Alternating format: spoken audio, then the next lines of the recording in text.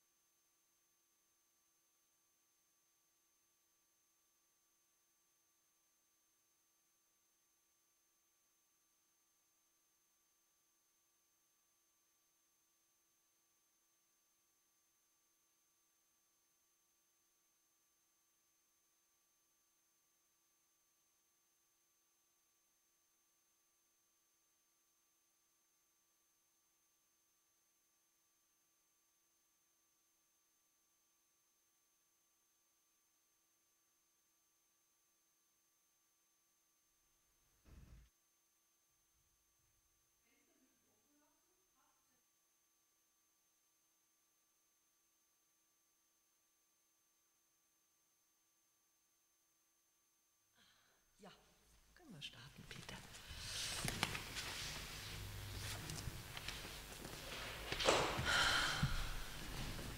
Ganz, ganz herzlich willkommen, ihr Lieben. Schön, dass ihr da seid. Ähm, auch wenn du online mitmachst, schön, dass du da bist. Und eigentlich habe ich heute so das Vollequipment geplant für die Stunde. Also auch wenn du zu Hause so eine Art Polster hättest, es geht die Position auch ohne das Polster, aber das ist sehr hilfreich, kann angenehm sein.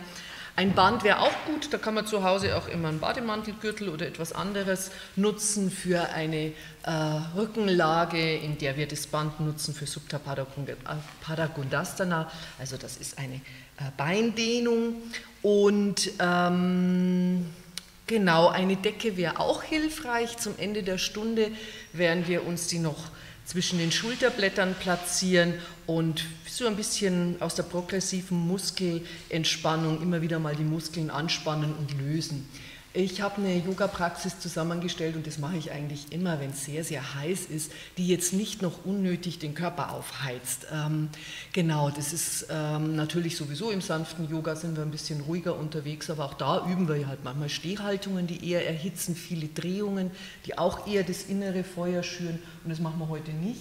Wir werden relativ viel erstmal in der Rückenlage üben. Es sind ein paar Gelenksmobilisierungen dabei, weil die manchmal so ein bisschen im Sommer das so ein bisschen dicker wird und der, der, der Lymphfluss nicht so, so, ähm, so gut ist. Also auch da werden wir einfach wieder entspannen, anregen und weil ich immer wieder von ähm, Teilnehmerinnen von Yogis, von Yoginis höre, gerade die, die vielleicht auch viel am Computer sitzen, ähm, dass die Handgelenke so unangenehm angespannt sind, habe ich so gegen Ende der Stunde ein paar Übungen, die kommen überwiegend aus dem Faszien-Yoga und die werden sowohl die Handgelenke, aber auch sind ja auch Faszien in den Händen selbst, in den Unterarmen und das bearbeitet letztendlich den Bereich bis zu den Schultern.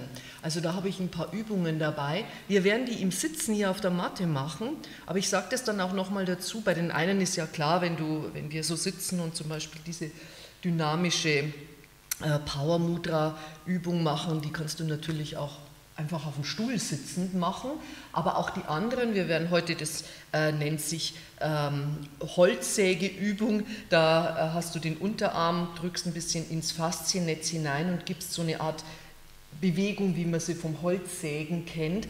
Das ähm, verschiebt sozusagen die oft verklebten Faszienschichten wieder so gegeneinander und die lösen sich dann. Das ist auch so gedacht, dass wenn jemand damit ein Thema hat, dass du das tatsächlich jeden Tag ein bisschen einbeziehen kannst. In, du sitzt am Schreibtisch, du sitzt lange vielleicht am Computer ähm, und nimmst dir mal fünf Minuten Zeit und machst eine oder zwei dieser Übungen. Also so ist es auch gedacht. Die sind auch nicht so schwer, dass man sie sich nicht ähm, merken könnte. Außerdem sind sie aufgezeichnet, das heißt, du kannst dann wir machen es gegen Ende der Stunde, könntest du dir das Video holen und auch einfach nochmal gucken, ah, wie war denn das gleich wieder, was waren denn das für Übungen. Also, genau, weil ich da immer wieder angesprochen werde, dachte ich, das passt auch gut heute, weil wir ja auch Gelenksmobilisierungen machen, dass ich das mit einbeziehe.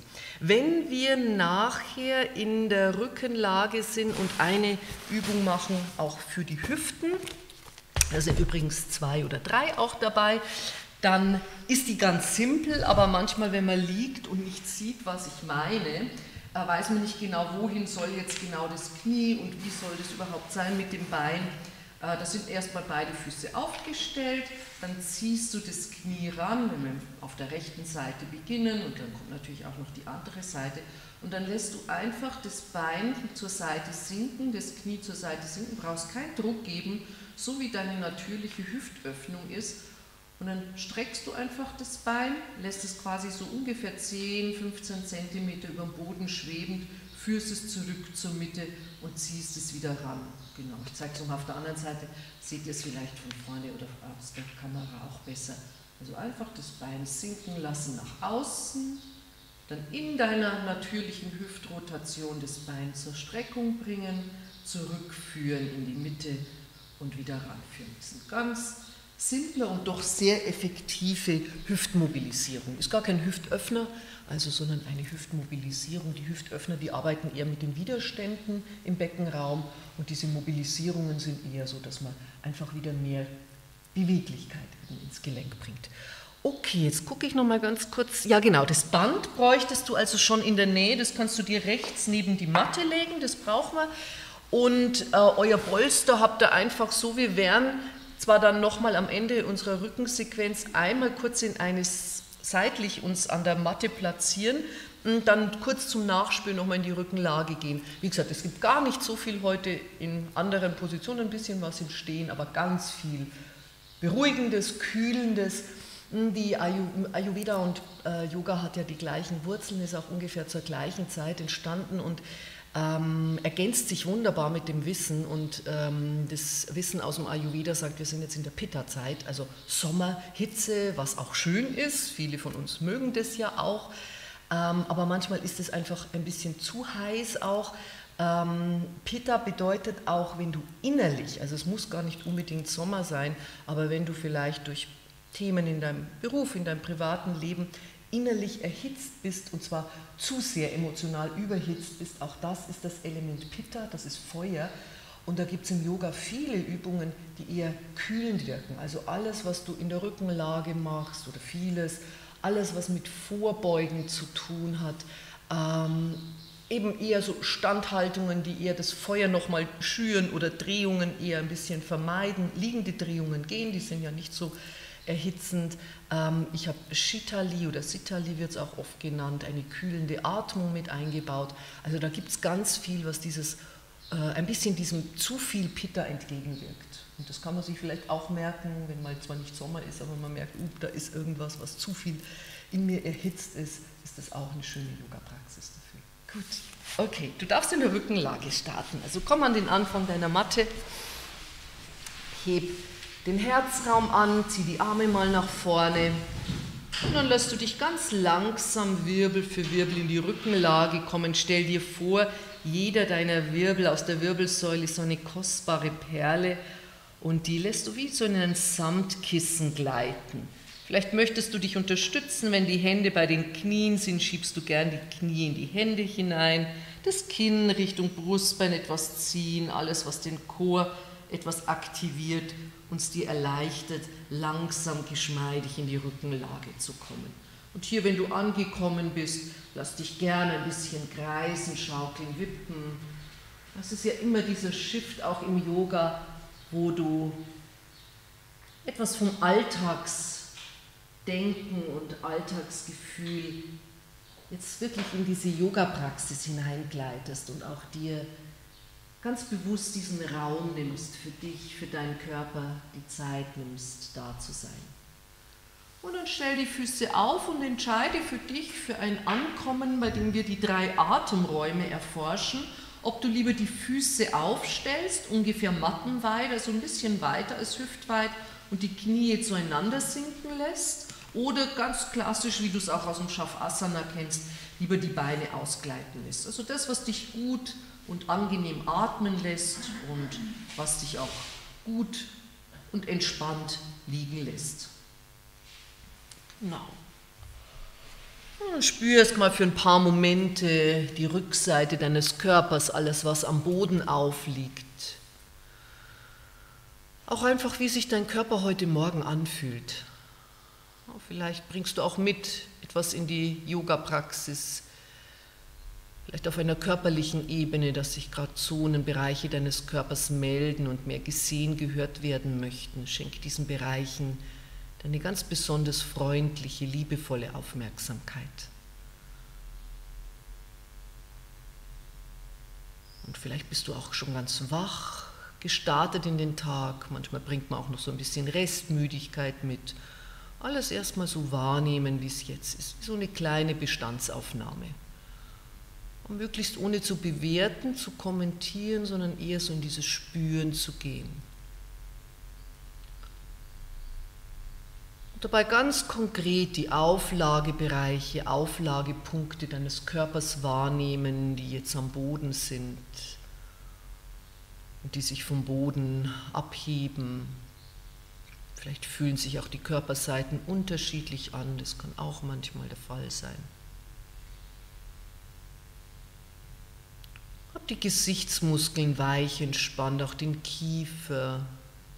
Die Augen dürfen etwas entspannter in die Augenhöhlen sinken. Und dann bitte ich dich mal, die Hände auf die Bauchdecke zu legen und mal ohne etwas zu verändern, einfach zu spüren, wie jetzt der Atem ein- und ausströmt. Du musst noch gar nichts verändern, so wie jetzt dein natürlicher Atem fließt. Es ist eher dieses Zeugen, Zeuginnenbewusstsein, diese innere Beobachterin, der innere Beobachter, der wahrnimmt, wie der Atem ein- und ausströmt, welche Körperräume dein Atem gerade erreicht. Und auch hier ist alles einfach so, wie es gerade ist. Und dann allmählich darfst du den Atem etwas bewusster, tiefer fließen lassen im Einatmen nach unten in den Bauchraum, dabei wölbt sich die Bauchdecke sanft und weich nach oben. Und beim Ausatmen zieht jetzt aktiver die Bauchdecke nach innen Richtung Wirbelsäule, Bauchnabel Richtung Wirbelsäule. Ganz bewusst unseren ersten Atemraum spüren. Im Bauchbeckenraum, da strömt der Einatmen hin, die Bauchdecke wölbt sich sanft und weich nach oben. Und beim Ausatmen zieht die Bauchdecke aktiver jetzt nach innen, sodass du möglichst viel Luft entweichen lässt. Unser erster Atemraum, den du jetzt bewusst wahrnimmst, und das behältst du bei, auch wenn du die Hände löst, seitlich an die Rippenbögen legst, sodass die Daumen nach oben Richtung Achselhöhle zeigen. Dann kannst du dir diese seitlichen Rippenbögen gut spüren. Und wenn du jetzt wieder einatmest, fließt der Atem nach unten Bauchbeckenraum, dann erreicht er den zweiten äh, Luftraum oder den zweiten Körperraum, nämlich den Brustraum und die Rippenbögen weiten zur Seite. Und beim Ausatmen zieht wieder erst die Bauchdecke nach innen, dann schmelzt der Lungenraum nach innen. Und du kannst so ganz klein wenig die Hände gegen die Rippenbögen nach innen schieben, wirklich nur ganz sanft, um zu spüren, ah, dann wird auch hier die Luft ausströmen. Und das wiederholst du ganz bewusst, jetzt zwei Atemräume wahrnehmen, der Atem strömt einatmend in den Bauchbeckenraum, die Bauchdecke wölbt sich weich nach vorne, dann werden die Lungenräume gefüllt, die Rippenbögen weiten zur Seite und beim Ausatmen zieht die Bauchdecke nach innen, dann schmilzt wieder der Brustkorb eher nach innen und du kannst ein bisschen das unterstützen mit den Händen an den Rippenbögen seitlich.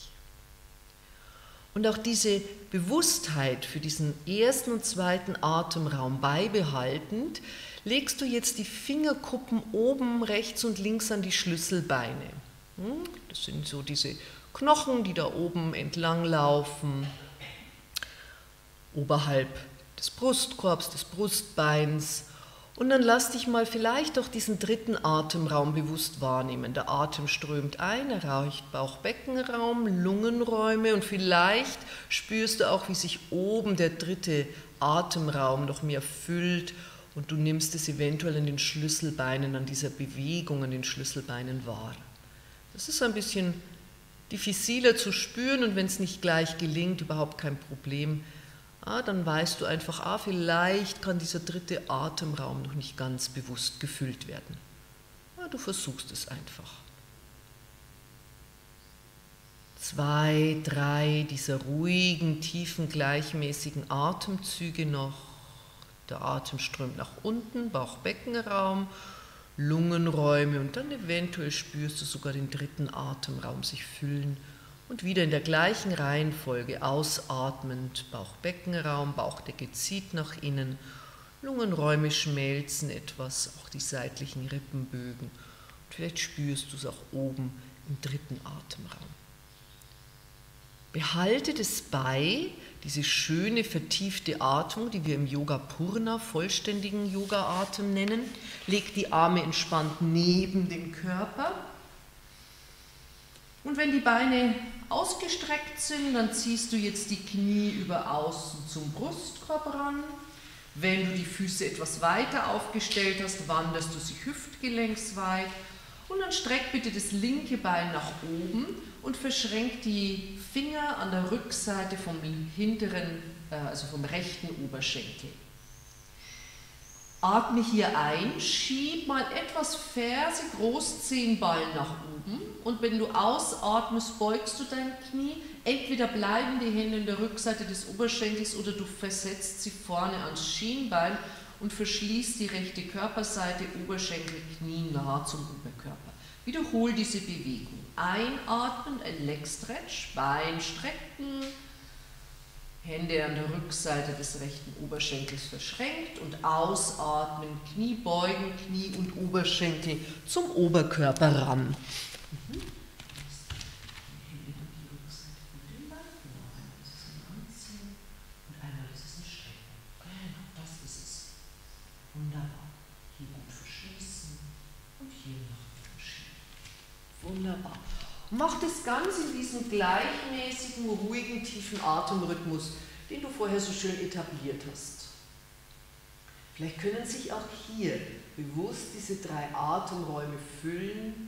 und die Luft kann wieder aus diesen drei Atemräumen entweichen. Mach es genau in dem Rhythmus, der dir keinen Stress bringt, der aber wirklich ruhig, entspannt und tief der Atem fließen kann. Und wenn schließlich dein rechtes Bein gestreckt ist, vielleicht magst du auch das Knie ein klein wenig anbeugen, das Bein zeigt aber nach oben, dann lass den rechten Fußknöchel kreisen, drei, vier Mal in die eine Richtung und drei, vier Mal ganz genüsslich große Kreise in die andere Richtung. Für die halbe Happy Baby Pose beugst du bitte jetzt dein rechtes Knie und greifst mit der rechten Hand, wenn es geht, von außen die Fußsohle. Wenn das gar nicht geht, dann greifst du von innen oder greifst dir dein Schienbein oder deinen Fußknöchel. Schau mal, wenn es geht. Und das Knie rechts ist gebeugt und du ziehst sogar mit der Armkraft das Bein näher ran. Also so Knie und Oberschenkel sind in etwa neben dem Oberkörper und ziehen Richtung Achselhöhle. Halbe Happy Baby Pose. Eigentlich sind wir auf der rechten Seite, aber wenn du alles jetzt links geübt hast, dann bleibst du einfach dabei und es ist egal, dann kannst du nachher die zweite Seite üben. Genau.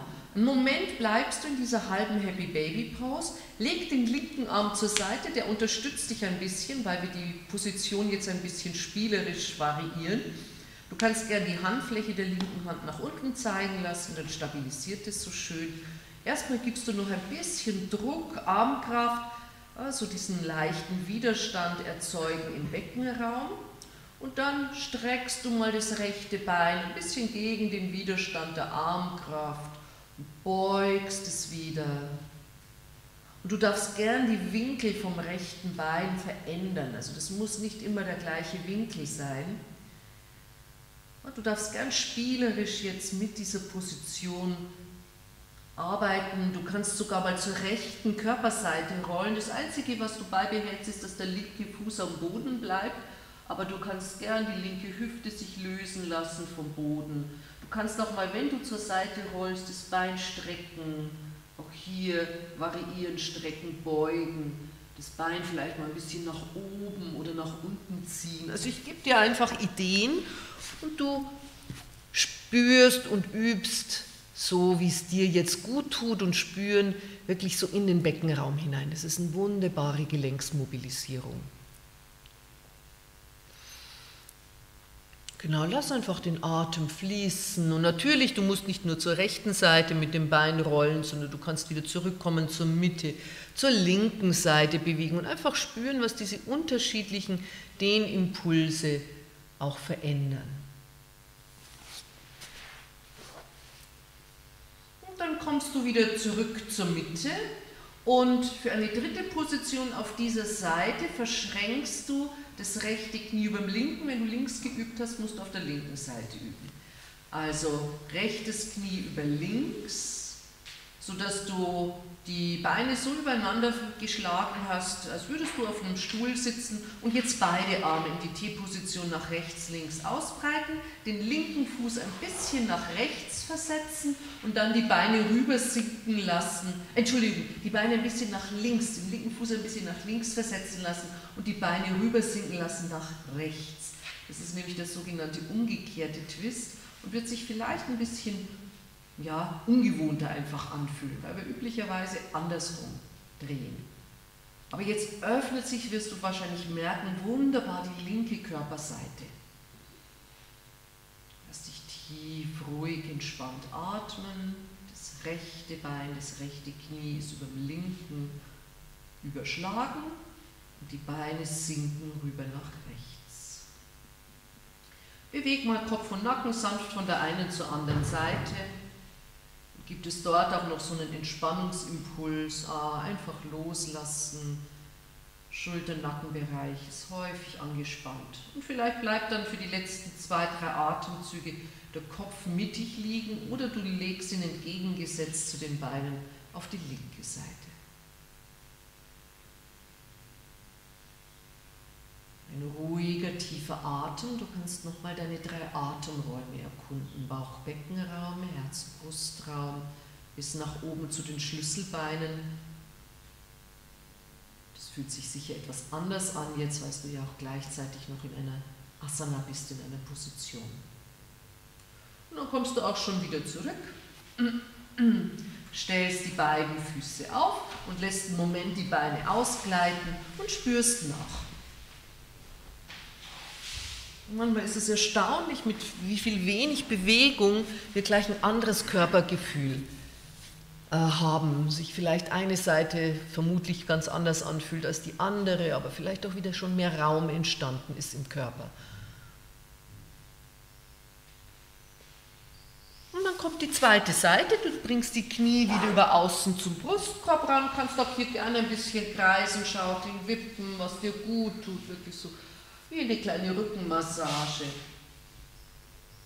Und dann stellst du den rechten Fuß auf, das linke Bein gestreckt nach oben, die Hände an der Rückseite vom linken Oberschenkel verschränkt, also die Finger verschränkt und im Einatmen läng das Bein, schieb sogar Ferse, Großzehenballen nach oben und im Ausatmen beugst du das Knie und ziehst Knie und Oberschenkel zum Oberkörper ran. Du kannst dabei die Finger einfach verschränkt lassen hinterm Oberschenkel oder wenn du Knie beugst und es ein bisschen intensiver willst, kannst du nach vorne greifen zum Schienbein und da kannst du wahrscheinlich die Körperseite ein bisschen näher noch verschließen. Beides ist genauso fein. Verbinde bewusst Atem und Bewegung. Im Einatmen streckst du dein Bein und im Ausatmen das Knie beugen, Knie und Oberschenkel zum Oberkörper ranziehen, verschließen. Das ist oft nochmal auch schön, wenn wir ausatmen. Am Ende der Ausatmung, gerade in diesem Verschließen einer Körperseite, nochmal wie so Restluft rausatmen.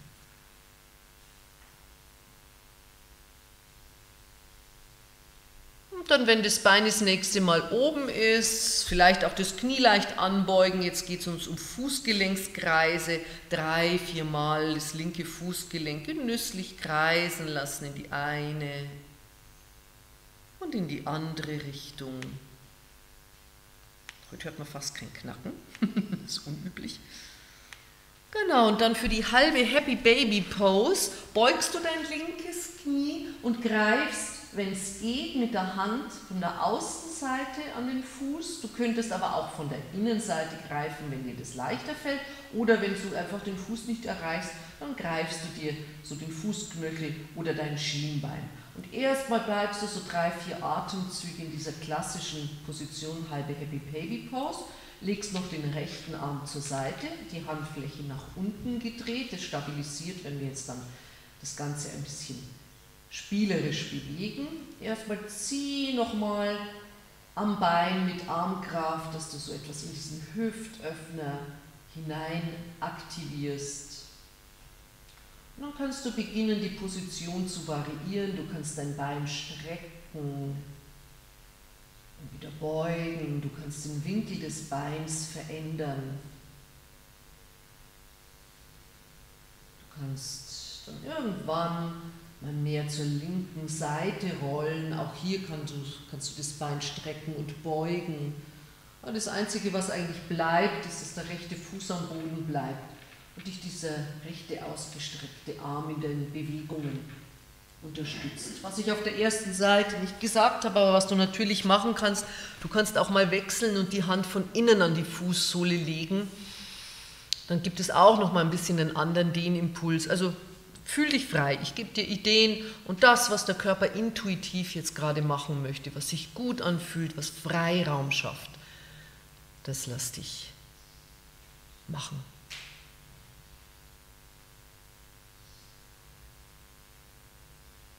Wunderbar. Und dann beende die Position und überschlag das linke Knie über dem rechten oder wenn du andersherum geübt hast, müsstest du das rechte Knie über dem linken überschlagen. Wanderst mit dem rechten Fuß ein bisschen mehr nach rechts und lässt die Beine rüber sinken nach links. Die beiden Arme jetzt in die T-Position und einfach drei, vier, fünf Atemzüge ganz entspannt in diesen Twist hineinschmelzen. Atme in die drei Atemräume bewusst, Bauch-Beckenraum, Brustkorbbereich, vielleicht sogar bis nach oben zu den Schlüsselbeinen. Spür nach jeder Einatmung die kurze Pause in der Atemfülle und am Ende der Ausatmung sink ein Moment in dieses Höchstmaß an Gelassenheit, in der Atemlehre, in diesen Moment der Stille.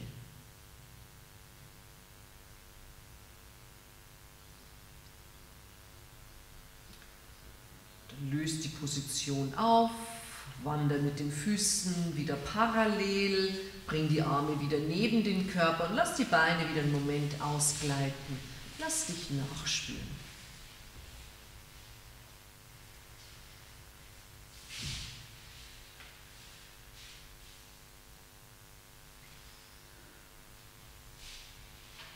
Wie fühlt sich der Beckenraum an?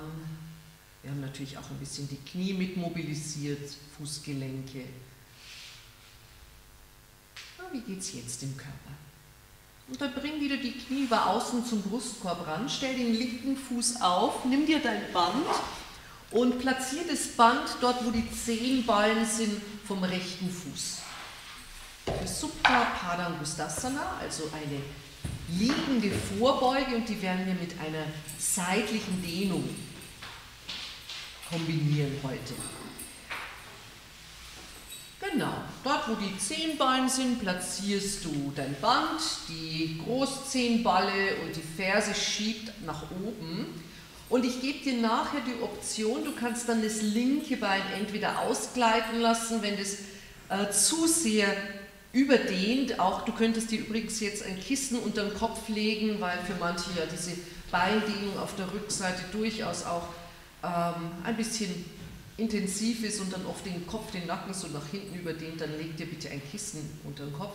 Und dann greifst du bitte das Band heute nur mit der rechten Hand, also beide Enden mit der rechten Hand und schiebst nochmal die Fußsohle nach oben und lässt das rechte Bein dich rüberziehen, also du unterstützt dich mit dem Band nach rechts.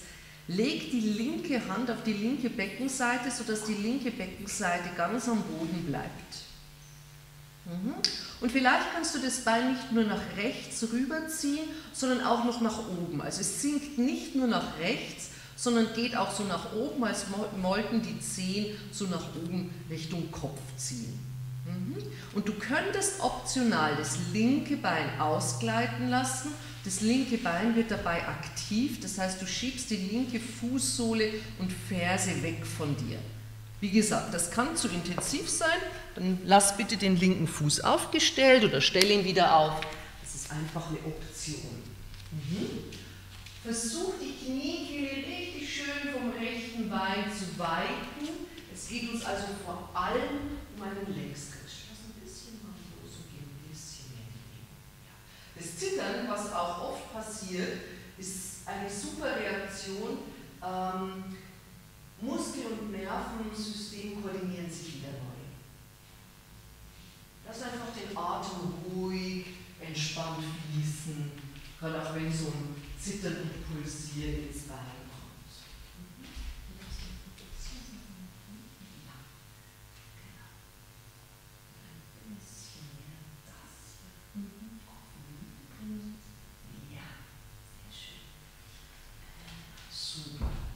ein, zwei Atemzüge macht es toll, ganz wunderbar. Und wie gesagt, das wenn zieht, das ist ganz normal. Und dann kommst du mit einem Einatemimpuls zurück in die Mitte mit dem rechten Bein und bringst es nur so drei, vier Atemzüge mehr rüber nach links. Auch da geht es nicht nur nach links, sondern auch nach oben. Du ziehst sozusagen mm, die Zehen wieder auch Richtung Kopf nach oben.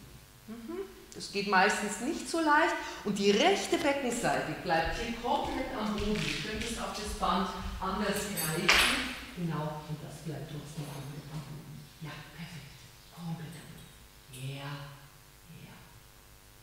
Super. Komm zurück zur Mitte, stell wieder beide Füße auf, leg dir das Band gleich rüber nach links, das kommt ja noch die zweite Seite. Lass die Beine ausgleiten und dich nachspüren.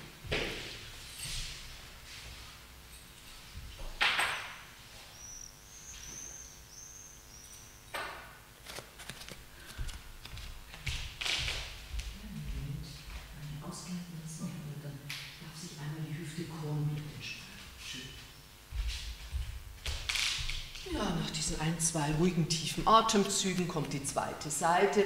Und oft spüren wir ja nach der geübten Asana, ah, was das für eine Wohltat im Körper ist. Und es motiviert uns wieder auch, dass diese Asanas, die ja wirklich manchmal uns ein bisschen fordern oder manche Bereiche des Körpers erreichen, die irgendwie schmerzen oder eng sind oder fest sind. Ah, das tut aber gut. Genau, also bring die Knie wieder über außen zum Brustkorb ran, stell den rechten Fuß auf, platzier dir dein Band auf der Fußsohle vom linken Bein, dort wo die Zehenballen sind, greif dir das Band nur mit der linken Hand heute, dann kannst du nämlich mit der rechten Hand schließlich die rechte Beckenseite so ein bisschen nach unten drücken. Und es geht uns um ein Längen des Beins, also lieber lass viel, also greif das Band eher körpernäher, sodass du Möglichkeit hast, dass das Bein sich schön streckt und dann führst du das Bein, das linke Bein rüber nach links und nach oben. Und gleichzeitig mit der rechten Hand auf der rechten Beckenseite stabilisierst du die rechte Beckenseite und kannst dann, wenn du in der Position bist, das rechte Bein ausstrecken und die rechte Großzehenballe, Fußsohle wegschieben von dir, dass das rechte Bein auch aktiv bleibt. Nur dann, wenn diese Beindehnung schon einigermaßen gut geht, kann man auch noch das rechte Bein ausstrecken. Genau.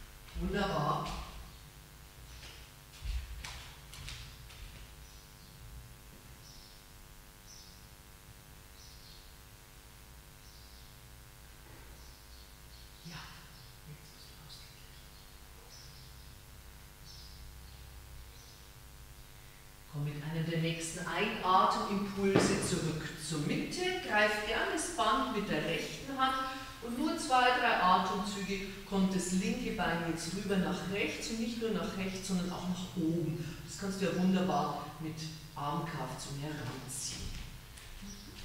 Genau, aktiv. Und dann komm mit dem Einatemimpuls zurück zur Mitte, löst das Band, stell den Fuß auf, lass beide Beine ausgleiten und spür der Rückenlage nach.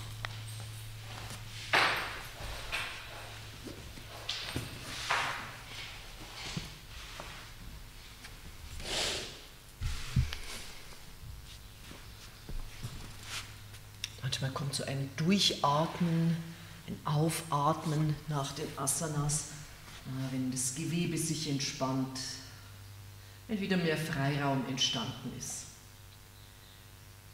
Wieder bei einem der nächsten Atemimpulse die Knie über außen zum Brustkorb ran, die Füße aufstellen und die Arme einfach neben den Körper legen. Jetzt kommt die Position, die ich vorhin kurz gezeigt habe, die eigentlich total simpel ist, aber manchmal weiß man nicht genau, wie man das Bein jetzt genau öffnen soll und wohin das Knie sinkt. Das rechte Knie beugen, zum Oberkörper ranziehen, dann das rechte Beinknie einfach zur rechten Seite Richtung Boden sinken lassen, so weit wie deine natürliche Hüftöffnung das zulässt. Dann das Bein strecken, so 10 cm ungefähr über dem Boden schweben, zurückführen zur Mitte und dann das Knie wieder beugen und ranziehen. Es ist quasi eine Art Halbkreis über rechts, die du mit dem Bein beschreibst. Das Bein dann streckst, wenn das Knie auf der rechten Seite ist und dann wieder zurückführst in die Mitte. Genau, manchmal knackt es hier im Hüftgelenk Solange kein Schmerz da ist, ist es eher ein gutes Zeichen, dass sich wieder was einjustiert. Hier kann einfach der Atem fließen und diese Übung ist umso effektiver, je langsamer du sie machst. Es ist eher eine Übung, die durch die Langsamkeit und auch das Hinspüren, was im Hüftgelenk passiert, ihre Wirkung entfaltet und dass wir sie ein bisschen länger machen. Und wenn wir manchmal so ganz einfache Übungen machen und die vielleicht auch noch langsam, dann ist es so, dass manchmal der Geist, dem wird dann irgendwie so ein bisschen langweilig. Naja, jetzt habe ich es ja schon drei, vier Mal gemacht und jetzt weiß ich es ja auch schon. Aber dann ist es, dass wir wegkommen vom Spüren. Wenn wir spüren, dann gibt es so viel zu entdecken im Körper, was da jetzt im Beckenraum passiert.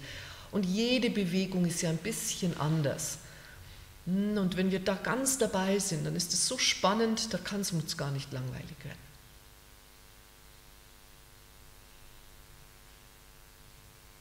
Und wie sich auch vermutlich das etwas verändert durch die Wiederholung. Vielleicht ermüdet auch etwas. Das ist auch ganz normal. Und dann beenden wir für die erste Seite, stell den rechten Fuß auf, leg die Fußsohlen aneinander lass die beiden Knie im Moment zur Seite sinken. Lass dich nachspüren in Supta Baddha Konasana, in dem liegenden Schmetterling für ein paar Momente.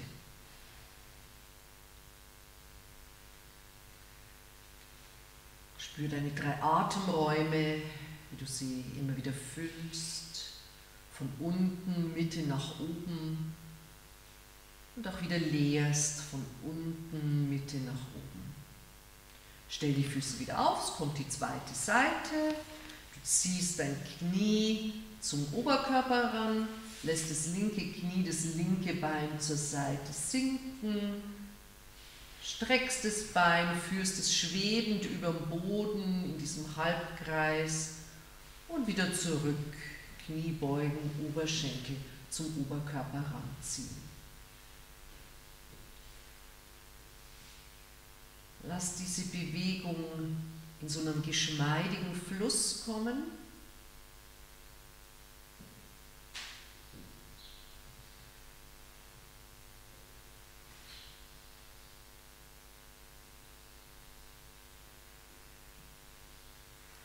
Es wird gleichzeitig auch das ISG, das Iliosakralgelenk der jeweiligen Seite und das Kreuzbein mit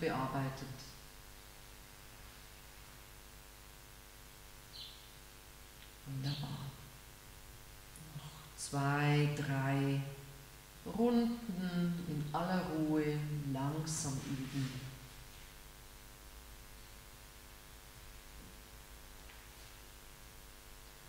Atem ruhig und gleichmäßig fließen lassen.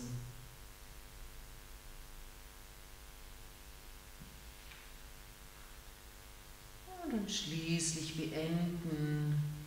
Beide Beine nochmal ausgleiten lassen jetzt und nachspüren.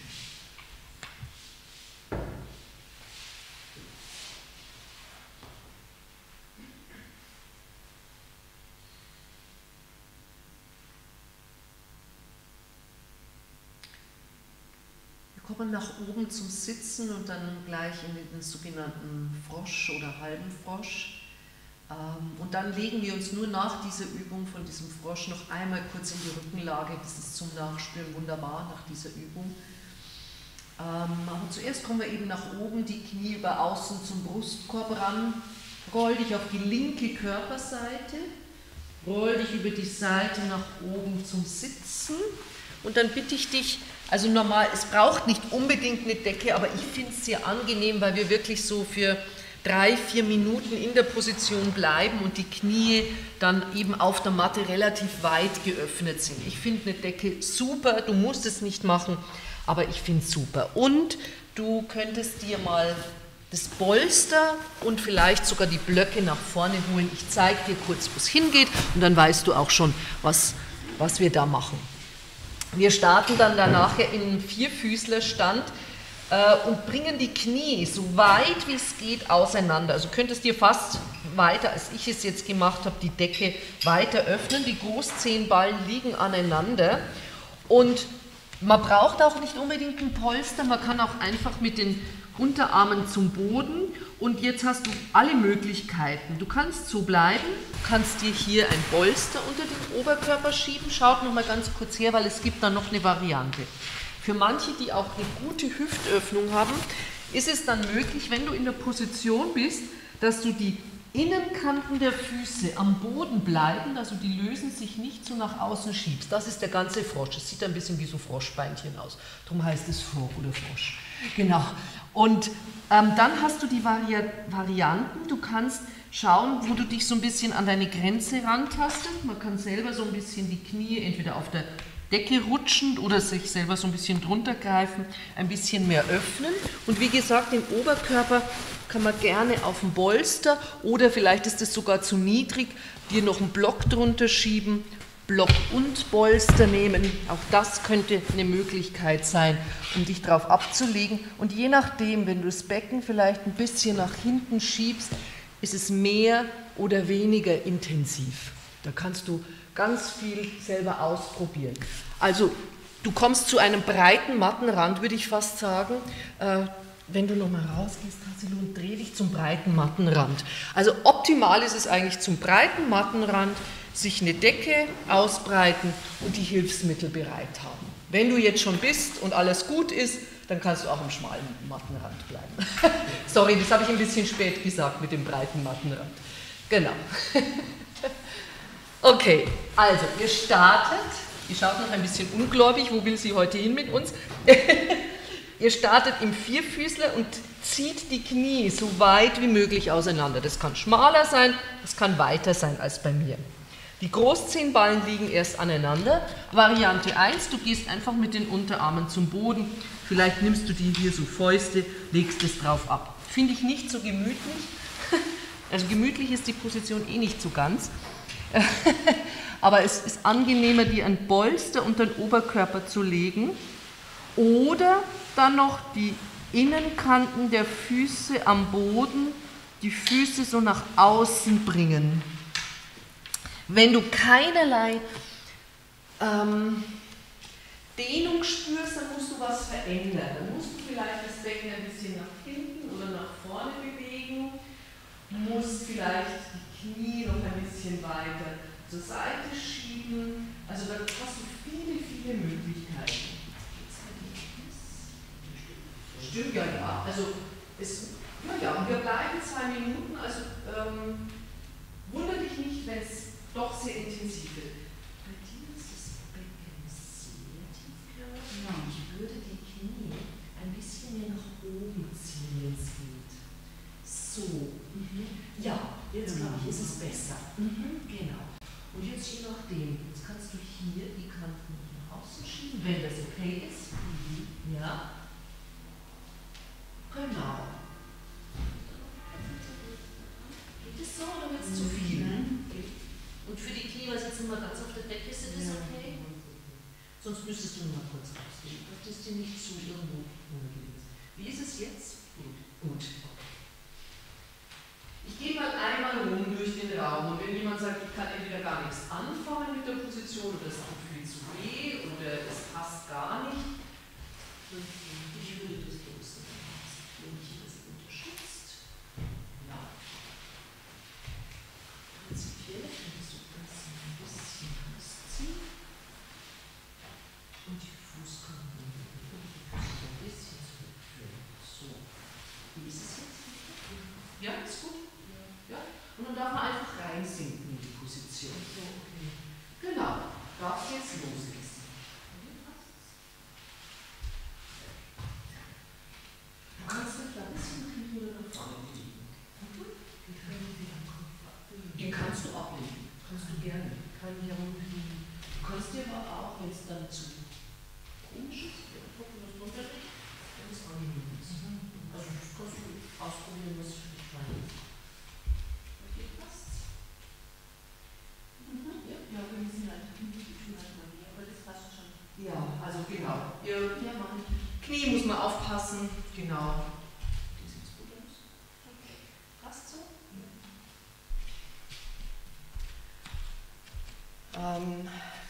manchmal, diese Übung, wenn wir die in den Ausbildungen geübt haben, haben wir zehn Minuten gehalten. Machen wir heute nicht, erschreckt nicht.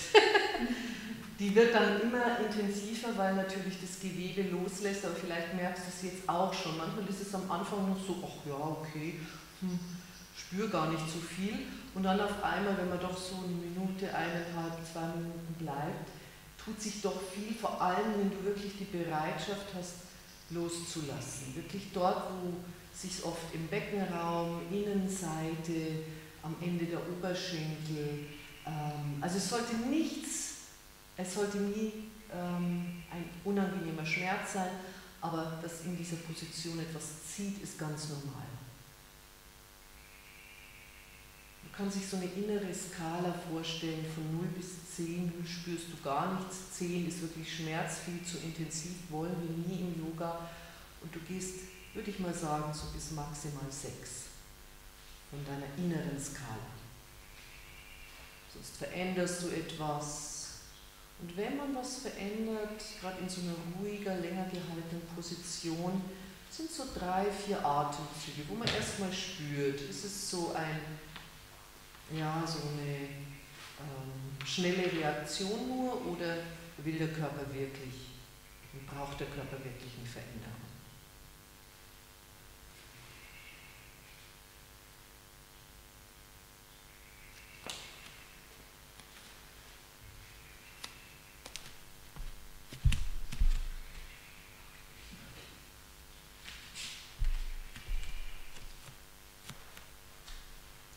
Hier bleib beim Spüren, bleib beim Atem, nimm wahr, wie der Atem ein- und ausströmt.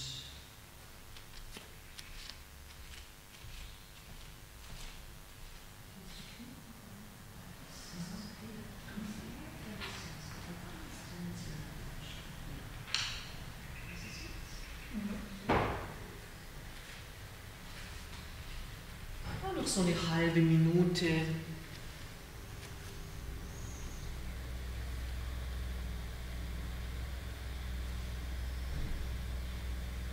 Das heißt, du warst schon relativ lang in der Position und vielleicht hat jetzt der Körper sogar die Bereitschaft, wenn er weiß, ah ja, so lang geht es nicht mehr, noch etwas mehr loszulassen.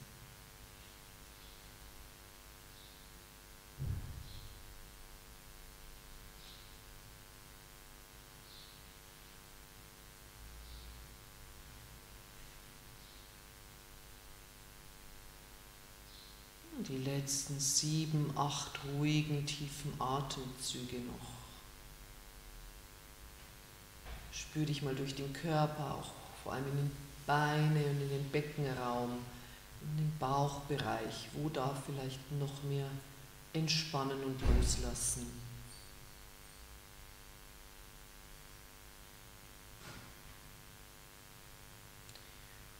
Und es ist dann ganz wichtig, wirklich ganz langsam aus der Position rauszugehen. Hm? Die wirkt wirklich tief und sehr intensiv. Wenn du dann rausgehen möchtest, gib ein bisschen Druck in die Hände und wander mit den Händen einfach näher wieder zum Körper ran und hebe langsam den Oberkörper an. Also je nachdem, wie tief du in die Position gekommen bist, braucht es wirklich Zeit und Ruhe, um aus der Position rauszukommen. Du kommst einfach noch in aller Ruhe in die Rückenlage, das ist nur noch mal zum Nachspüren, das ist für diese Position eigentlich die angenehmste Art, noch mal wirken zu lassen, nachzuspüren, wenn wir noch mal kurz in die Rückenlage kommen.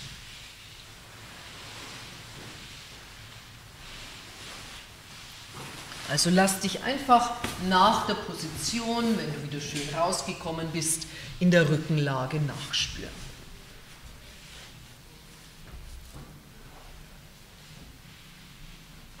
Vielleicht auch genießen, wie schön der Beckenraum sich weiter anfühlt.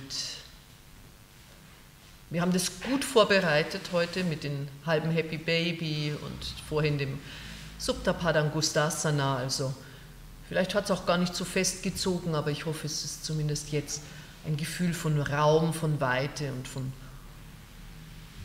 angenehmer Wohltat im Körper zu spüren. Und dann findest du wieder in aller Ruhe deinen Weg nach oben zum Sitzen. Unsere nächste Position ist im Sitzen.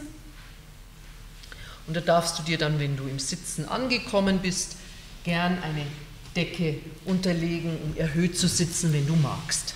Du kannst auch gern auf Blöcken sitzen. Und dann wanderst du mit den Füßen ein bisschen mehr in Richtung unter die Knie, also gar nicht klassisch der süße Sitz Sukhasana, sondern du wanderst hier so ein bisschen mit den Füßen unter die Knie und wirst ganz stabil dabei, bringst die Hände erstmal kurz auf die Oberschenkel und lässt dich dein Sitzfleisch rausziehen, damit du ganz aufrecht, angenehm mit einer schönen Länge in der Wirbelsäule ankommst. Bringst dann bitte die rechte Hand zum linken Knie. Ich tue mal das auf die Seite, dann kann ich das zeigen. Und die linke Hand greift das rechte Handgelenk und dann lass dich ausatmend mit dem Oberkörper rüberziehen nach rechts und einatmend kommst du einfach wieder zurück zur Mitte. Und wenn du das wiederholst, ausatmen, rüberziehen nach rechts, dann ziehst du so mit der linken Hand ein bisschen am rechten Handgelenk, um diesen Dehnimpuls zu unterstützen. Ausatmen nach rechts, auch der linke Sitzbeinhöcker zieht aktiv Richtung Boden, der hebt sich nicht vom Boden, den schiebst du sogar aktiv Richtung Boden bei jedem Ausatmen, wenn du rüber neigst nach rechts. Und ein bisschen mit der linken Hand den Stretch unterstützen, da ziehst du so ein bisschen am Handgelenk nach unten. Du darfst jedes Mal beim Ausatmen den Kopf loslassen, Kopf und Ohr Richtung rechte Schulter sinken lassen. Es gibt gleich noch so einen ganz angenehmen Nackenstretch auf der linken Seite.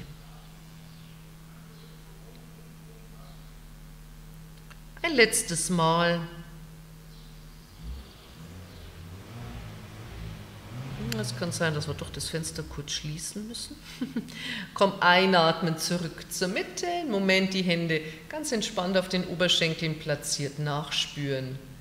Spür mal, welche Beckenseite sich für dich tiefer anfühlt, geerdeter, verwurzelter.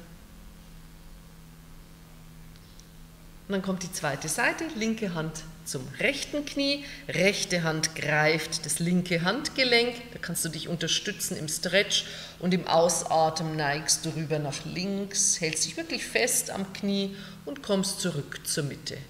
Immer wieder zur linken Seite und ganz bewusst rechte Beckenseite am Boden belassen, sogar reinschieben aktiv.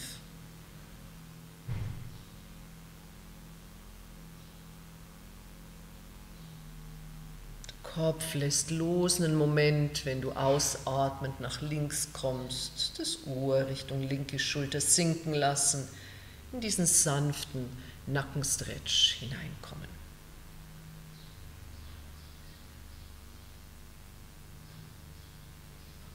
Auch hier nochmal so ein letztes Mal.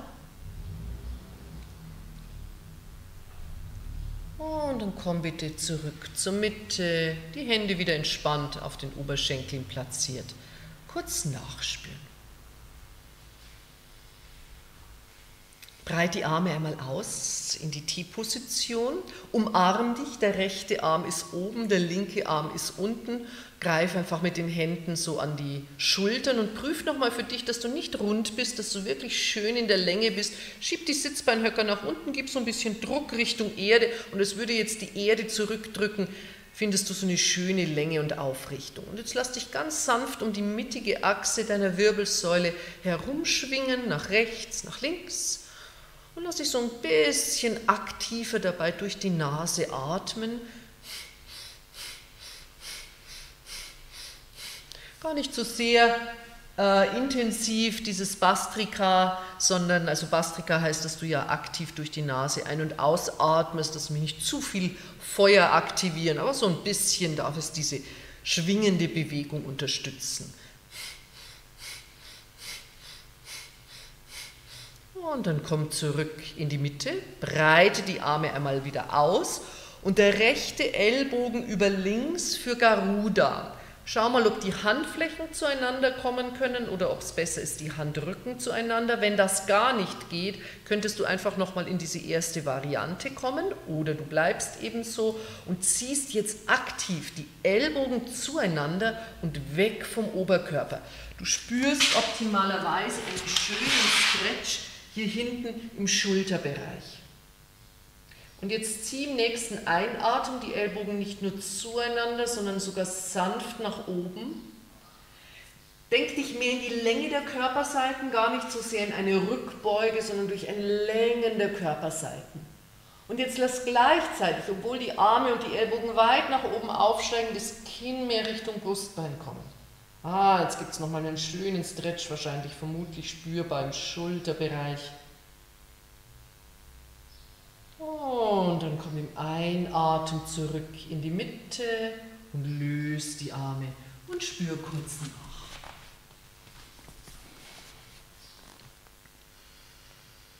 Oft entsteht richtig Raum im Schulter-, im Nackenbereich. Und dann kommt natürlich noch die zweite Seite. Du breitest die Arme wieder aus und jetzt kommt der linke Arm über den rechten, du umarmst dich wieder, spürst nochmal ganz bewusst die Länge, Aufrichtung im Oberkörper, sonst setzt dich vielleicht auch nochmal höher. Und dann nochmal in ein Schwingen kommen, um die mittige Achse herum und gern verbinden mit einer etwas vertiefteren Atmung durch die Nase ein und aus, so ein sanftes Bastrika.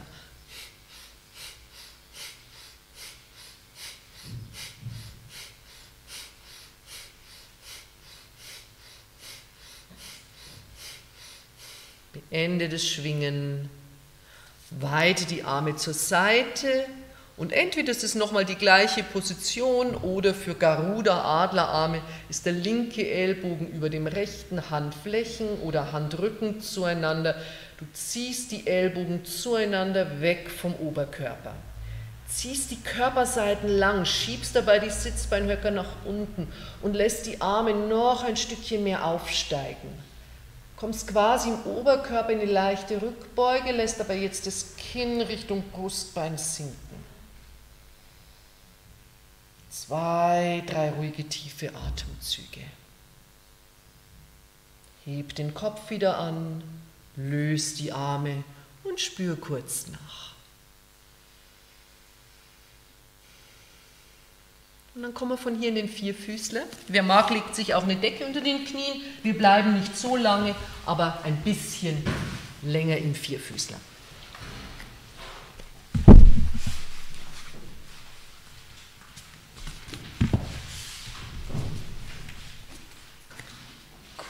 Wenn du in deinem Vierfüßler angekommen bist, Schultern bitte über den Handgelenken, Füße, Beine, Knie, Hüftgelenks schmal, die Arme schulterweit.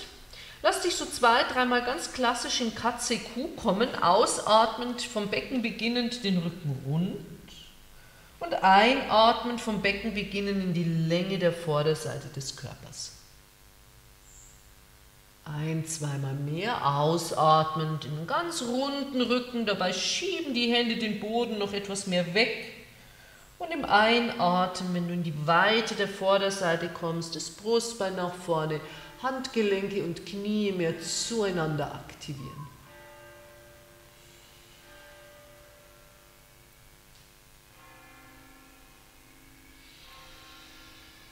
Und wenn du das nächste Mal im runden Rücken bist, dann bleib bitte im runden Rücken und mach so kleine Mikrobewegungen erstmal im Beckenraum und unterem Rücken. Also im runden Rücken bleiben.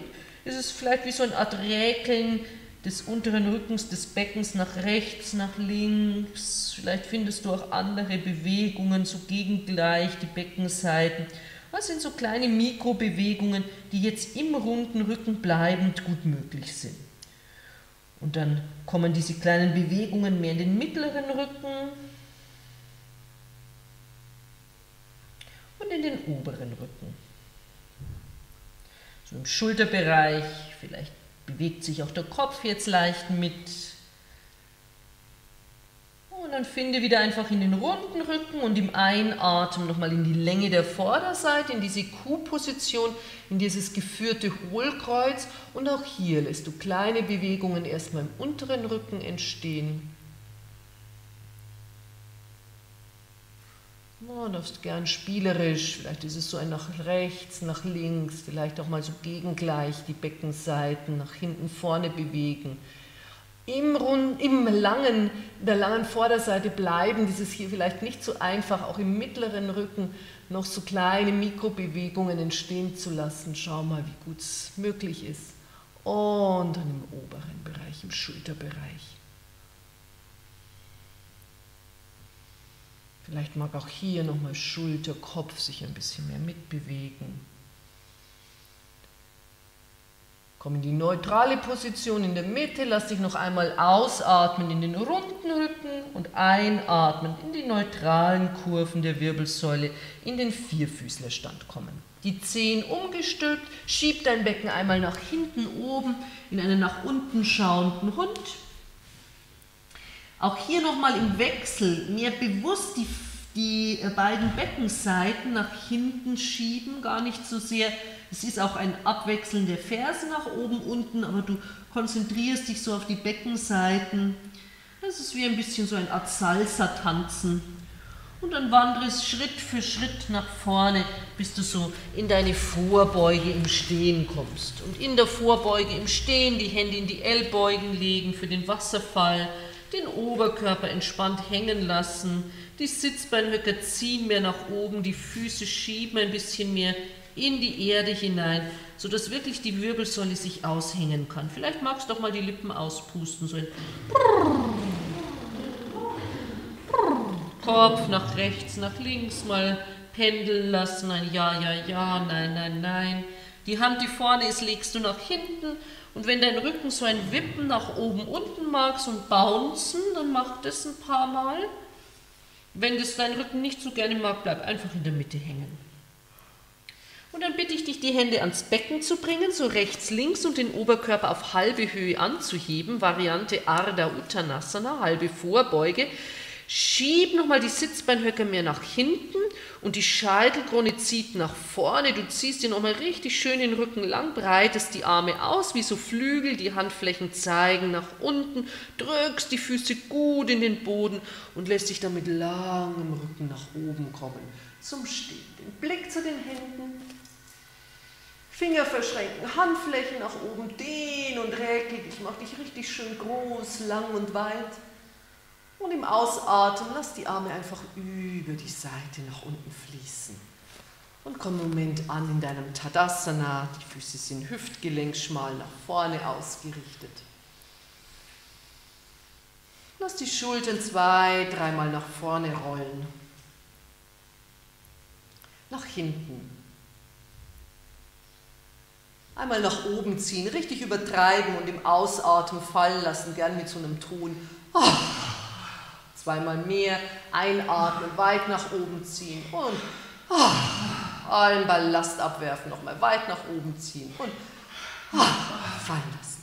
Wunderbar. Eine kleine Balance noch und dann kommen schon unsere Handgelenksmobilisierungen. Ähm, Links wird unser Standbein.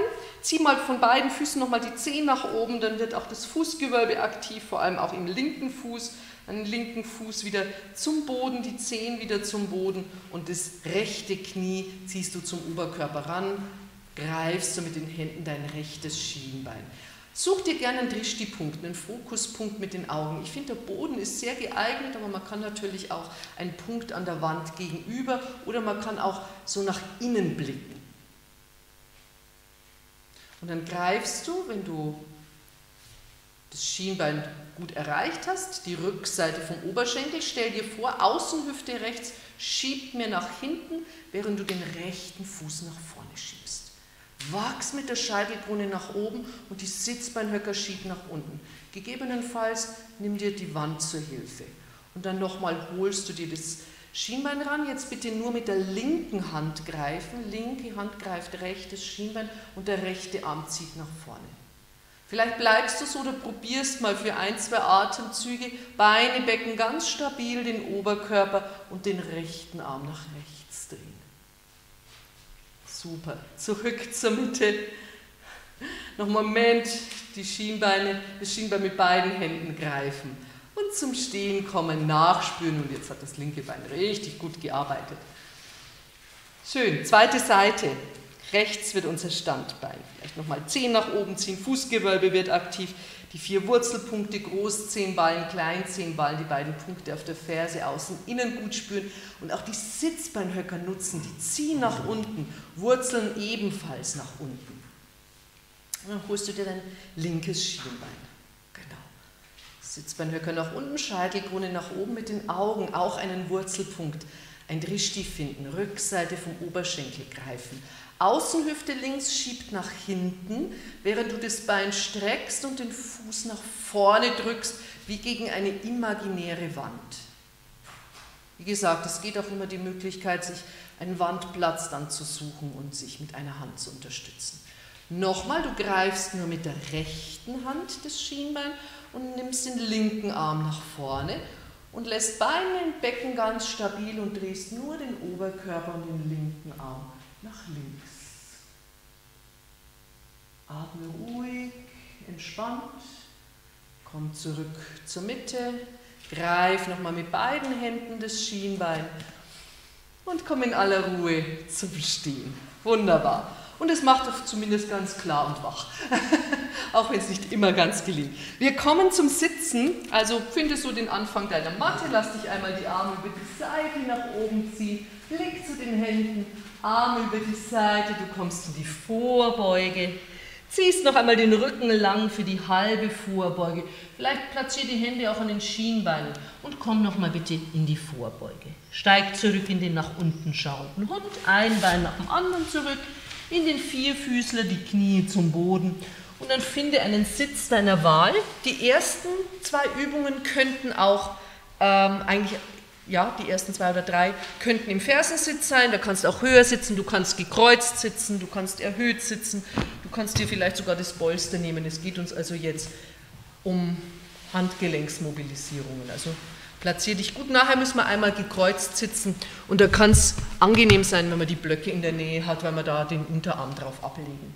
Genau. Also schau, sitz deiner Wahl. Das erste ist eine Übung, die wahrscheinlich alle von euch kennen, aber einfach ein Klassiker um das ganze Fasziennetz. Ich mache auch jetzt mal das runter, dann ist es es besser. Die Arme weit nach oben richtig aufspreizen und dann machst du sehr dynamisch und schnell dieses Öffnen und Schließen. Manchmal möchte der Daumen nicht wirklich mitarbeiten, den mach auch richtig weit öffnen und schließen. Die Schultern entspannt, die Mitte so deiner Körperachse wahrnehmen und wer mag, nur dann, wenn es dich nicht noch mehr erhitzt, kannst du noch ein bisschen das, Bastrikam, äh, das äh, Kapalabhati mit hinzunehmen, also kraftvoll durch die Nase aus. Wenn du merkst, hm, ich brauche nicht noch mehr Wärme, dann atmest du einfach ganz klassisch purner Atem weiter. Und es kann sein, jetzt oder bald, dass das nicht mehr so leicht geht. Ja, dann schau, atme dich durch. Passiert nichts, es brennt nur ein bisschen, es zieht. Vielleicht geht die Bewegung nicht mehr so geschmeidig, das Fasziennetz reagiert. Bleib noch ein bisschen dabei. Je öfter du es machst, umso besser geht's.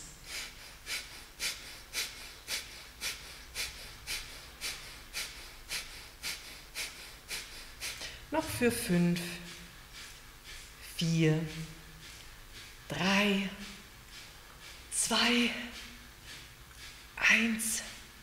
Geschafft. Arme absenken. Arme ganz entspannt ablegen auf den Oberschenkeln und nachspüren. Gern die Augen schließen, dort wo es jetzt zu spüren ist, wo wahrscheinlich ein Kribbeln wahrzunehmen ist.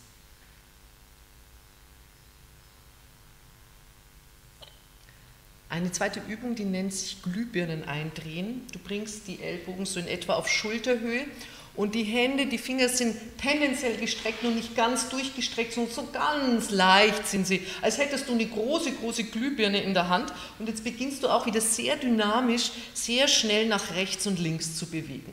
Genau. Große Glühbirne eindrehen. Und auch das geht ja anfangs noch ganz easy. Und irgendwann wird es vielleicht langsamer, aber du versuchst sehr schnell dynamisch zu bleiben und auch die Finger eher gestreckt zu lassen.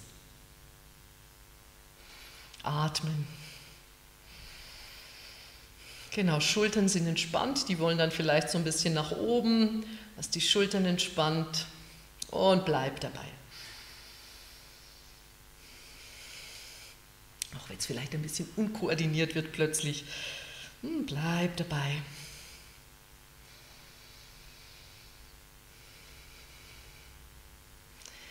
Noch für fünf, vier, drei, dynamisch nochmal werden, zwei, eins und lösen. Nachspüren. Also zwei wunderbare Übungen, die man wunderbar einbauen kann tagsüber. Eine dritte, das nennt sich Hakini Mudra. Dann nimmst du einfach die Fingerkuppen zueinander, alle Fingerkuppen so aufeinander, genau, und gibst so leichte Dehnimpulse. Du so ein bisschen Druck auf die Finger, öffnest die, schließt sie wieder. Kannst auch mal in einer Position bleiben und so ganz so kleinere, schnellere, dynamischere Dehnimpulse geben. Ja, sei jetzt wieder eher spielerisch, ich gebe dir einfach Ideen, du kannst auch mal die, die Finger mehr zu dir ziehen. Auch hier so kleine Dehnimpulse geben. Und von dir wegdrehen.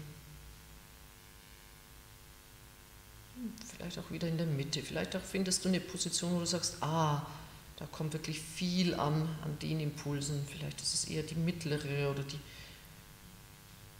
ganz offene Position. Schultern entspannt. Atem einfach fließen lassen. Okay. Hm, eine letzte Übung, die machen wir jetzt nicht so lang, weil ich euch gern noch die beiden anderen auf jeden Fall mitgeben möchte, ist ein Zupfen entlang des Handgelenks der Haut. Ähm, die Idee bei vielen Übungen, die diese Faszien lösen sollen, ist ja, dass diese Faszienschichten, es sind man geht jetzt im Moment von vier großen Faszienschichten aus, dass die untereinander oft verkleben und dass die wollen wir wieder beweglich machen. Also fang gerne auf der rechten Seite an. Oben ist es oft leichter als unten rum und du nimmst dir einfach vielleicht so auf der Innenseite oben äh, so eine Hand, äh, so, so eine Hautfalte und zupfst die so ein bisschen, reibst die so gegeneinander, ziehst sie. Und das kann man auch länger machen, als wir es jetzt hier heute machen und gehst dann weiter, zupfst ein bisschen weiter, nächste Position, so gegeneinander drehen, zupfen, ziehen, so das, die Haut so ein bisschen wegziehen. Genau, nimmst du eine nächste Hautfalte, so gegeneinander schieben, nach vorne, nach hinten, so beweglich machen. Du kannst gerne einen anderen Sitz einnehmen. Also setz dich einfach oder lehn dich gegen die Wand. Genau, du musst nicht immer in der gleichen Position sitzen. Genau, und dann wanderst noch so nach außen, nimmst du so die Außenseite, auch hier so eine Hautfalte, ziehen, zupfen, drehen.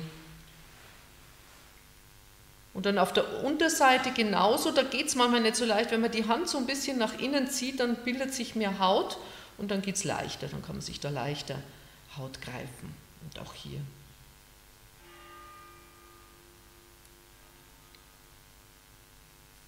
Genau, und da wanderst auch so entlang. Also da kann man sich, wie gesagt, wenn man die Übung für angenehm empfindet, die ist ja jetzt gar nicht unangenehm, ähm, denke ich zumindest, kann man die auch ein bisschen länger machen. Ja, also die hat aber sehr viel Effekt. Und dann beende mal die erste Hand, leg sie einfach kurz ab und spür mal, wie es sich anfühlt gerade. Und diese Übungen leben natürlich schon auch von der Wiederholung, dass du sie, wenn du was hast im Handgelenk und sagst, ah, ich sitze eh vielleicht viel am Computer ähm, oder ist auch manchmal was im Handgelenk, kann das sehr hilfreich sein. Machen wir die zweite Hand noch, starten wir wieder auf der Innenseite oben, greifst dir so ein Stück Haut, ziehst und zupfst und drehst so ein bisschen gegeneinander. Kann natürlich manchmal so ein bisschen ziehen. Wie so die Hautschicht so ein bisschen verschieben, nimmst die nächste Position.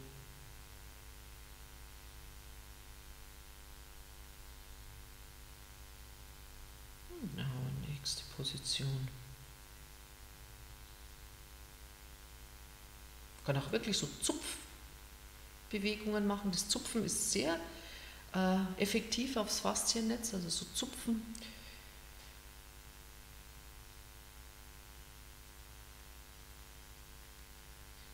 Viele Faszien, kann man sich vorstellen, sind, wenn du so eine Orange durchschneidest und da diese Kammern siehst, so schaut auch unser Fasziennetz eigentlich aus oder Teile, Faszien sind unterschiedlich gestaltet. Kannst du langsam auf die Unterseite wandern ähm, und die sind wie so dieses Weiße, das man auch von den Orangen kennt, das ist auch bei unserem Fasziennetz, das Bindegewebe. Und da sind so kleine Flüssigkeitskammern dazwischen. Und die sind auch oft so ein bisschen trocken und verklebt und auch durch dieses Zupfen ähm, entstehen, löst sich das wieder. Und die Flüssigkeitsschichten können sich auch wieder auffüllen. Und deshalb ist es dann oft auch wieder äh, lebendiger alles. Genau, also zupf noch so ein bisschen und, und, und schieb und Gehe an der Unterseite vom Handgelenk noch entlang. Also man ist richtig so entlang vom Handgelenk. Okay, und dann allmählich beenden. Und jetzt zeige ich dir mal, wie es ich mache. Letztendlich kann man diese Übung ähm, am Tisch sitzend den Unterarm auflegen. Jetzt haben wir hier natürlich keinen Tisch, wir sind ja auf der Yogamatte und wenn ich es auf der Yogamatte mache, dann lege ich mir einfach zwei Blöcke, vielleicht hoch oder quer, sodass ich, wenn wir jetzt mit dem linken Unterarm beginnen und die Füße sind ganz egal, die Beine, wie du das machst, ob du gekreuzt sitzt, ob du höher sitzt, ob du vielleicht auf dem Bolster sitzt, und da lege ich mir den linken Unterarm jetzt erstmal so ab, dass ähm, die Unterseite nach oben zeigt. Das ist die erste Position. Das machen wir bei beiden Armen dann noch. Also egal, du kannst auch die Beine ausstrecken und so sitzen. Also es ist völlig, völlig egal, es geht uns um den Arm, linker Unterarm. Und dass der Rücken nicht allzu unangenehm rund wird, sagen wir mal so. Gut, wir suchen uns da drei Positionen am linken Unterarm. Die Handfläche der Unterarm zeigt nach oben. Der rechte Arm mit der Außenkante hier, mit dem äh, Knochen, drückt nah neben dem linken Ellbogen einfach gegen den Unterarm. Und die Hand ist so geöffnet, du hast sozusagen dann die Möglichkeit, legen wir ein bisschen nach vorne, die Möglichkeit, wie so eine Sägebewegung dann zu machen. Also gibst erstmal Druck und dann gibst du so wie so eine Sägebewegung. Nach vorne, nach hinten mit etwas Druck. Und das Ganze ist vielleicht vom Sitzen her dann angenehmer, wenn man es tatsächlich am Tisch macht. Da kann man es nämlich gut machen. So ist die Idee auch von dieser Übung, dass du sie am Schreibtisch auch üben kannst. Vielleicht hochkant, dann geht es vielleicht leichter. Genau, so, ja. Ja, genau. Und dann nehmen wir gleich die nächste Position ungefähr in der Mitte vom Arm. Unterseite vom Arm, Handfläche zeigt nach oben. Der Knochen, Außenknochen vom rechten Unterarm dient dir wie so als Säge sozusagen. Du gibst etwas Druck. Und dann lass mal diese Sägebewegung dich einstellen, gib Druck und öffne und schließe die linke Faust. Weit öffnen und wieder schließen. Der Daumen darf außen bleiben, also eine offene Faust. Auch das kannst du, wenn du es mal wirklich einbeziehst tagsüber, so lang machen, wie es dir gut tut. Und dann nimmst du eine letzte Stelle, eine dritte Stelle, nicht am Handgelenk jetzt, sondern so ein ganz klein wenig überhalb vom Handgelenk. Und da legst du wieder deinen rechten Unterarm mit der Außenkante drauf, gibst Druck, gibst eine Sägebewegung, gibst Druck und schließt und öffnest noch ein paar Mal die linke Hand.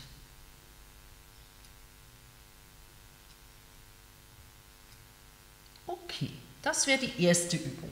Kann man so lang und wenig lang machen am Schreibtisch, wie du magst.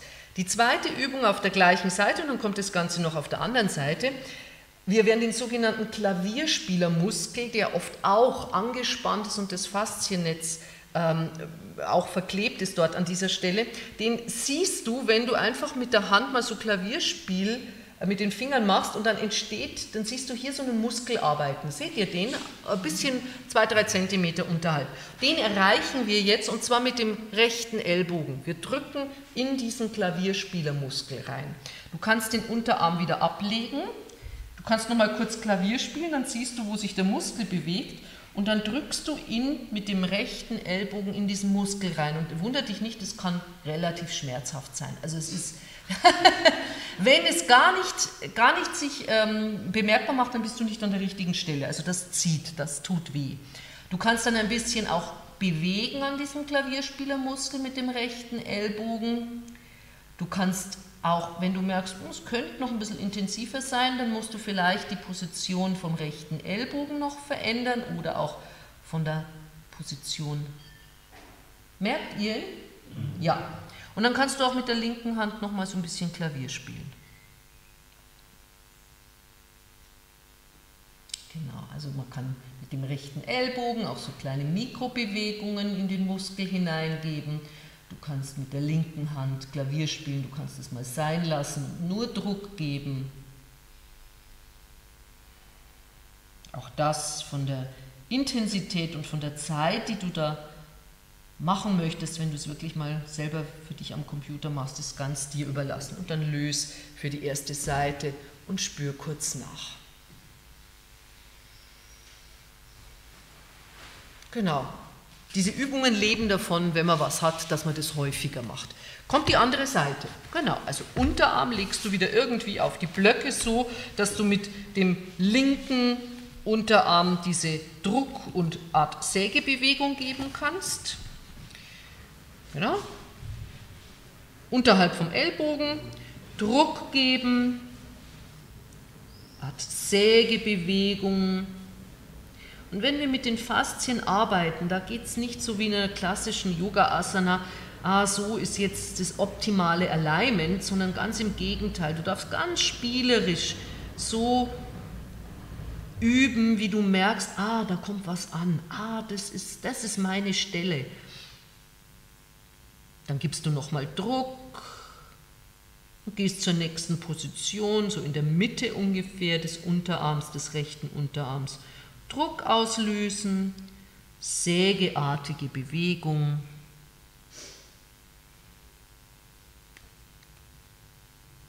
Druck geben und dann nochmal die rechte Hand, die Faust öffnen und schließen.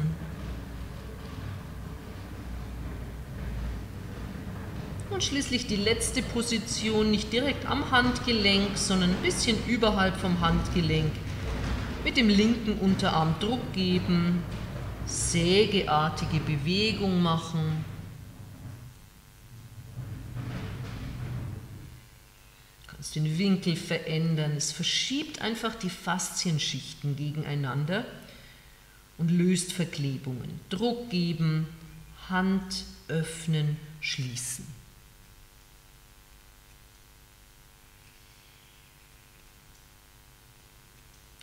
Wunderbar. Rechten Arm umdrehen, Klavierspielermuskel finden, indem du einfach diese Fingerbewegung machst, So zwei Zentimeter in etwa unterhalb vom Ellbogen bewegt sich dieser Muskel sichtbar und dann drückst du so den Ellbogen rein. Wenn es zu intensiv ist, weil bei manchen ist der Muskel sehr verspannt, dann kann man statt dem Ellbogen, könnte man auch einen Stift irgendwie nehmen, dass man also jetzt keinen, keinen Spitzenstift, sondern vielleicht irgendwie so einen Marker und da nur sanfter drauf geht. Aber man hat ja auch mit dem Ellbogen die Möglichkeit stärker oder weniger stark. Du kannst die Position verändern, bis du wirklich merkst, ah, es ist unangenehm, dann bist du richtig. Und dann darfst du wieder ein bisschen Klavier spielen mit der rechten Hand.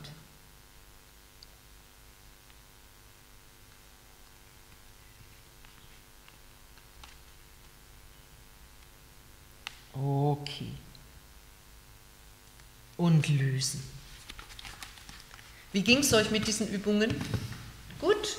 Ist das was, was man mal so mitnehmen könnte für zu Hause am Computer sitzen oder dann darfst du in die Rückenlage kommen. Es gibt noch ein Shavasana. Ähm, ja, weil wir uns schon so langsam der Ende der Stunde bewegen.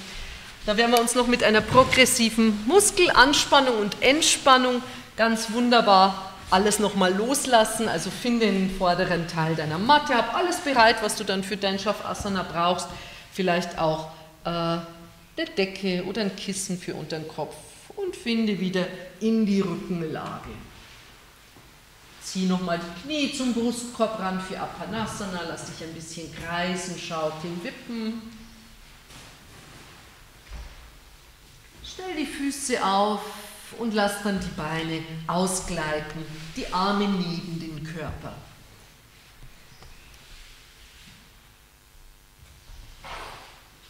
Die Füße dürfen gerne ein bisschen weiter geöffnet sein, die Arme ganz entspannt neben dem Körper und wir werden jetzt einfach Muskelpartien im Körper nacheinander durchspannen und entspannen. Die Entspannung kommt immer mit einem Ausatmen und da kannst auch gerne durch den geöffneten Mund und es darf auch gerne ein Ton kommen.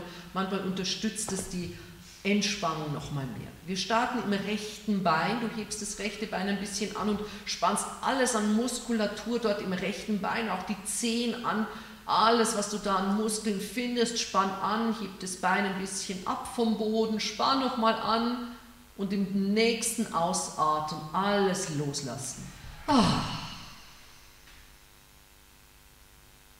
Die linke Seite, linkes Bein. Linkes Bein etwas anheben, alles, was du dort an Muskulatur, Oberschenkel, Unterschenkel, Zehen, Fuß findest, spann, spann, spann, spann an, richtig feste, feste, feste anspannen und im nächsten Ausatmen ah, loslassen. Po und Becken anspannen, ja, richtig fest die Po-Muskulatur zusammenziehen, auch die Bauchdecke anspannen, feste, feste, feste anspannen und beim Ausatmen ah, loslassen. Der rechte Arm, du hebst ihn so ein bisschen, ziehst alles, was an Muskulatur ist, feste zusammen, auch die Hände zu Fäusten ballen, Oberarm anspannen, auch die Schulter so ein bisschen anspannen und beim nächsten Ausatmen Oh, fallen lassen. Auf der linken Seite, der linke Arm, das gleiche. Bisschen abheben vom Boden, feste, feste, feste anspannen und die Faust machen. Spann, anspann an und im Ausatmen oh, loslassen. Der Oberkörper, wenn wir so den Brustbereich anspannen, der hebt sich dabei, der wölbt sich so ein bisschen weg vom Boden nach oben und die Schultern ziehen auch so nach oben und innen. Und auch hier spann, spann, spann, spann an, feste, feste, feste. Und im Ausatmen wieder. Ah, alles fallen lassen. Und dann kommt noch das Gesicht, die Gesichtsmuskulatur richtig zusammenkneifen, Zähne zusammenbeißen, alles feste, feste anspannen, Augen zusammenkneifen. Und im Ausatmen. Ah, loslassen. Und dann darfst du nochmal beide Arme anspannen, den Oberkörper leicht anheben, die Zunge rausstrecken und dann nochmal alles anspannen und im Ausatmen alles wieder loslassen und zurücklassen. Zwei, drei ruhige, tiefe Atemzüge. Wenn noch irgendein Bewegungsimpuls da ist vor Shavasana, dann gib dem gern noch nach. Und ansonsten finde einfach in deine Position. Vielleicht magst du dir auch das Polster unter die Knie oder die Oberschenkel legen. Vielleicht magst du dir ein Kissen unter den Kopf legen, dich zudecken. Heute überziehen wir ein paar Minütchen. Mal leider, das war mir so wichtig auch. Diese Handgelenksmobilisierung, Körperposition, Ordnung. Wo wir alles hin, was es braucht.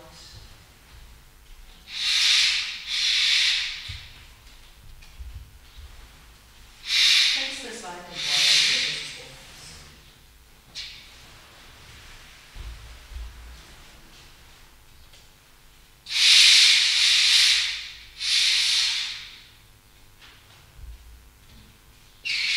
Wenn du dann ganz angenehm liegst, dann lass noch mal ganz bewusst dein Gewicht in den Boden hineinschmelzen.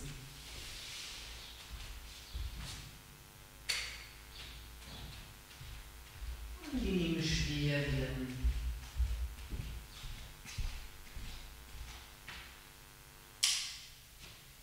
Dieses Getragensein vom Boden, von der Erde spüren. Und vertrauensvoll alles, was vielleicht nur so ein restlicher, unnötiger Spannung im Körper ist, loslassen.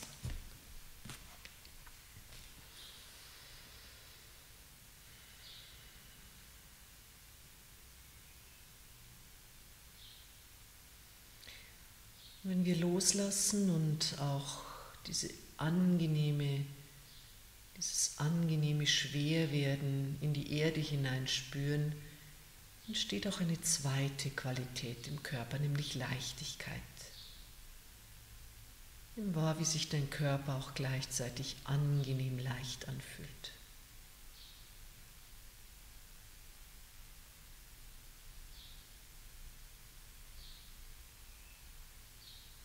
Die Gesichtsmuskeln weich entspannt, der Kiefer entspannt, die Augen dürfen ganz entspannt in die Augenhöhlen sinken.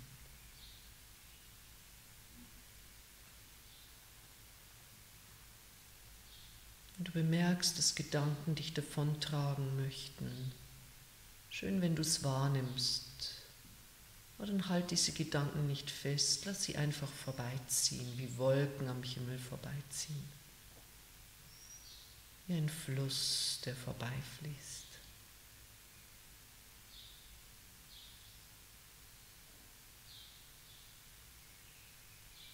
Und du lässt auch den Atem los. Du kontrollierst den Atem jetzt nicht mehr.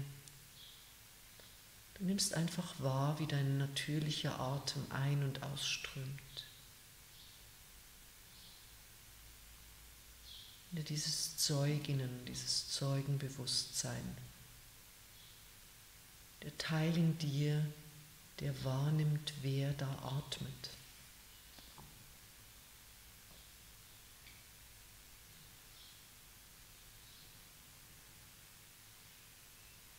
Vielleicht darf sogar in einem Moment dieses schöne Gefühl entstehen, wie geatmet zu werden.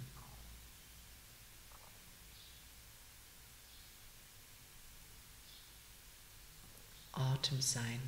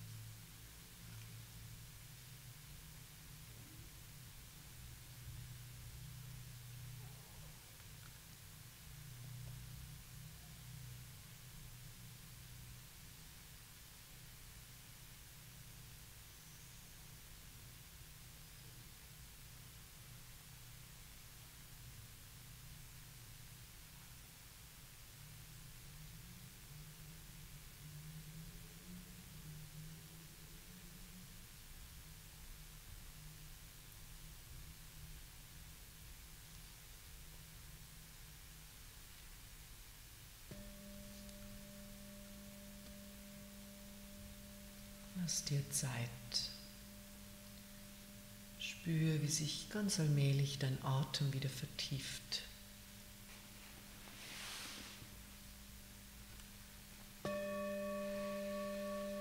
kleine Bewegungen zurückkehren in deinen Körper.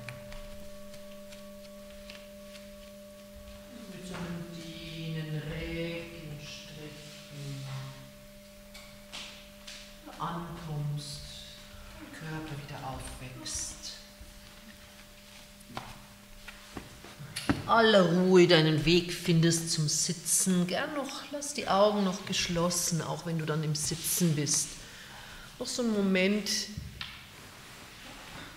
in diesem Shift von ganz bei dir zu sein, bevor du wieder so ganz in den Alltag gehst. Wenn du in deinem Sitz angekommen bist, die Handflächen zueinander, Daumen berührt die Herzgegend, ein Kinn ganz sanft Richtung Brustbein. Spüren, wie es jetzt im Körper geht, was hat sich womöglich verändert?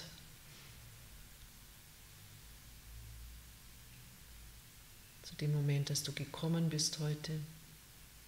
Und wie geht es dem Geist, den Gedanken, den Stimmungen? Spür, was du vielleicht an neuem Raum in dir gewonnen hast, an neuer Weite, an Kraft, an Lebendigkeit. Lass dich alles mitnehmen, was du brauchst. Und oft ist es einfach dieses Gefühl von frischer Ruhe, die im Yoga entsteht. Es ist nicht überreizt, aber wir spüren auch unsere Energie fließen.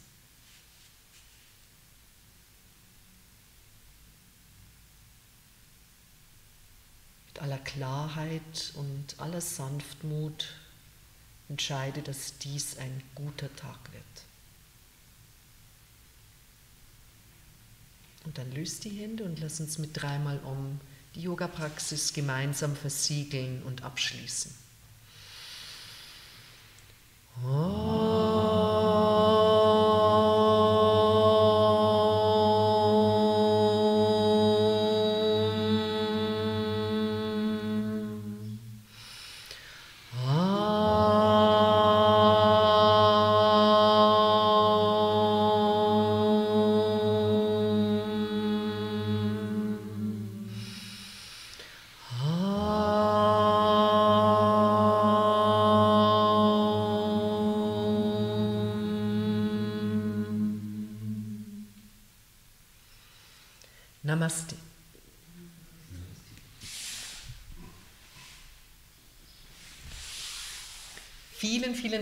Lieben. Es war eine große Freude, mit euch Yoga zu machen.